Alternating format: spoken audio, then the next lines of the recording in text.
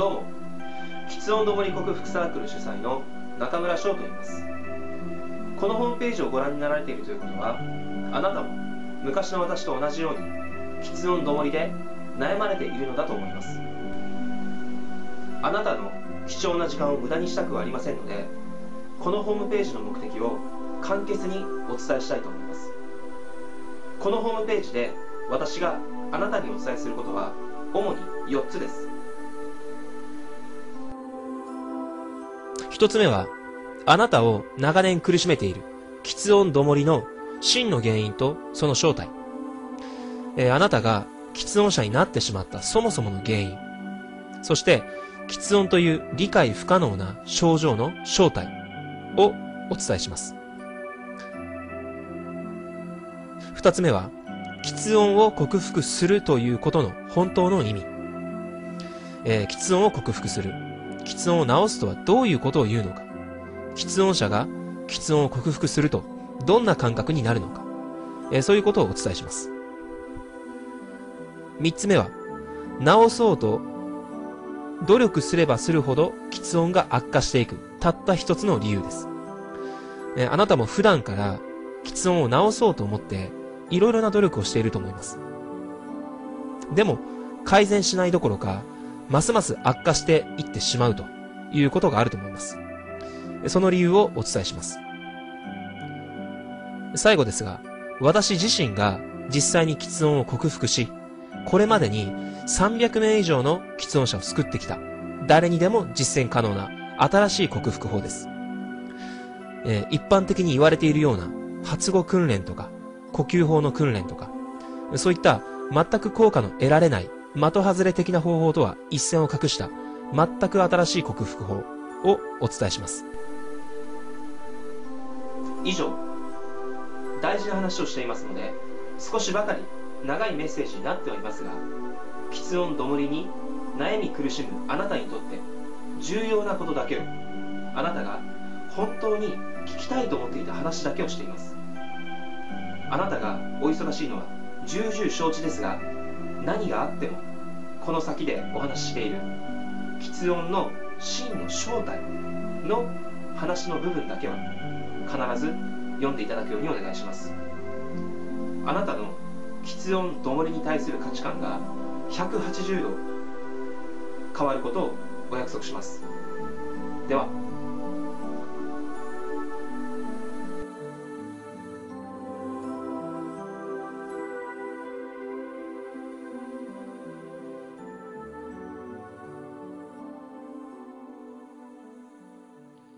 えー、長崎県の伊佐美さんに、えーお越しいただいております。どうぞよろしくお願いします。よろしくお願いします。で、伊佐美さんも、えーまあ、僕の MR メソッドを実践されて、まあ、喫音を克服したという方のお一人なんですけど、まあ、これまで喫音者ということで、えーいろいろとご苦労があったと思うんですが、どんなことが、えー一番の悩み、悩みだったというか、辛かったですか？あ、はい。あのー私、これまで仕事と3度変わってるんですね。はい。で、今、あの、アシスタントみたいな感じで、まあ、あの、は雑用というか、そういう仕事をしてるんですけども、はい最初の仕事が公務員で、とにかくあの、電話を取る多い仕事でした。はい。で、まあ、電話というともう、まあ、喫音者にとっては一番の天敵というか、はい。だと思うんですけど、はい。それで結局、電話の第一声がなかなか発生できなくて、はい。はい。あの、電話口で、あれ？とか、もしもしとか、うんまあ、言われたりして、まあ、あと、こっち側の無言なんで、まあ、そのままガチャって切られたりとか、はい。はい。なので、やっぱり、電話が一番の悩みでしたね。うん。まあ、電話はそうですよね。うん。で、まあ、あのー一番悔しかったのが、公務員やってる時の、まあ、上司がいたんですけど、はいまあ、その上司の、まあ、いじめがありまして、いじめ。はい。はいあのーまあ、周りの人間も僕が喫音者だっていうことも分かってたんで、はい。はい。見て見ぬふりをしていたというか、まあ、はいしてもらってたというか、それ自体がもうすごく辛いんですけど、はい。ある上司がですね、それを分かってて僕にチクチク言ってくるんですよ。ほう。あの、例えば、はい。れるように努力しているのかとか、はいはいどうやって採用面接パスしたんだとか、もういろいろひどいこと言われまして、はいはい。で、一度感情的になってしまって、はい。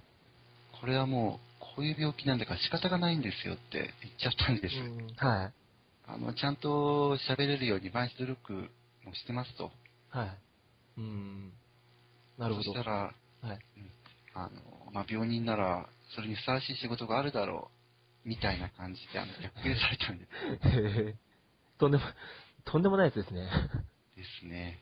うん。えーそういう人間いるんですね。うん。まあでも、あのー、喫音っていう問題自体が、ええその、喫音者じゃないと理解できないっていう性質を持っているから、まあ仕方がないって言えば仕方ないのかもしれないですよね。そうですね。うん。まあでも、えー まあそれにしてもひどい話だとは思うんですけど、まあまあそういう人には、えー地獄にでも落ちてもらうとして、あの、今はどんな感じですか？あ、今の状態ですか？はい。あの、克服プログラムを実践してみての。はい、そうですね。まあ、あの、全然喫音で悩んでないというか、はい。多分もう言いにくい言葉っていうのはないんじゃないかと思います。ああ、もう、以前とは全然違うと。あ、それはもう全然違いますね。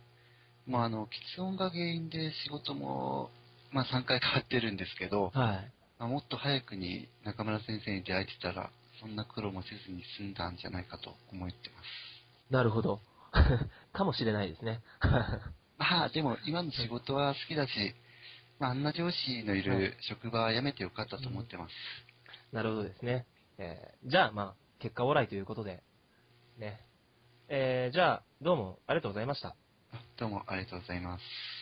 えー福岡県の玉木さんにお越しいただいてます。玉木さん、えー、喫音に悩まされていたということで、すごくお悩みだったと思うんですが、僕のプログラムを、えー実践する以前の状況っていうのを教えていただけますか？はい。あの、実践する以前はですね、はい。あの、とにかくあの、喫音者の方なら皆さん同じだと思うんですけど、はい。とにかくこう、人と話すのが嫌で、すごくストレスだったんですね。はい。で、あの、挨拶ができないので、うん。ありがとうございますはちゃんと言えるんですが、はい。おはようございますがどうしても言えなかったりしてたんですね。はいはい。それで、あの、勤めてる会社で、うんあ、の、朝礼の当番が週に一度回ってくるんですね。はい。で、まず、おはようございますから言い始めるんですけど、はい。そこでいつも言葉に詰まってしまって、うん。こう、焦ってしまって声が裏返ってしまったり、うん。なんかすごくいや、変な感じになっていました。はいはい。なるほど、なるほど。うん。うんはい。で、あと自分の名前が他行から始まるのも致命的でしたね。は いああ、なるほどですね。うんうんそうですか。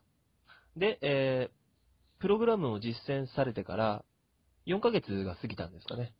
あ、あ、もうすぐ3ヶ月ですね。3ヶ月はい。あーが経過して、で、はい。今はどんな感じですか？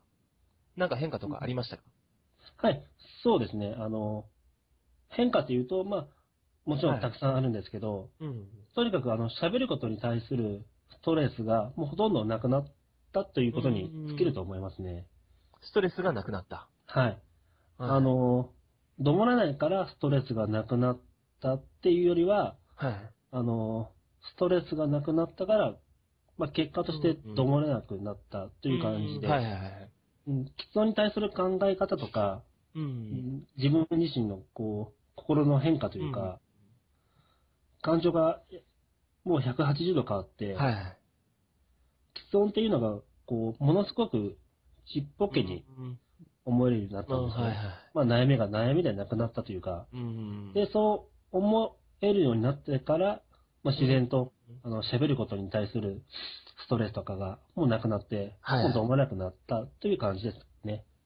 うん、なるほど。じゃあ、えー、以前は苦手だった言葉とか、どうしても喋れなかった言葉っていうのも、あ、もう全然大丈夫です。ああ、なるほど。うんはいおはようっていう言葉も普通に出ますし、うん。まあでも、たまに、あの、どもることはあるんですけど、はいはい。でも全然、もう本当に気にしてないっていうか、はいはい。悩んだりストレスに感じたりっていうのはもう全くないですね。うん。なるほどですね。はい。あの、それで全然いいと思います。うんで、うんそもそも、こう、喫音者じゃなくても、どもったり噛んだりっていうことは、誰にでもあるわけで、で、そうです。はい。どもるっていうことが、どもること自体が問題なんじゃなくて、その、どもることに対してストレスを感じたり、予期不安を感じたりっていうのが問題なんですよね、一番の。で、そこが、やっぱり喫音者と非喫音者を分かつ、こう、唯一の部分なんで、はい、で、もうそれがないってことは、もう全然克服しているって言っていいと思いますよ。はい、わかりました。はいはい。えー、じゃあ、どうも、ありがとうございました。はい、ありがとうございました。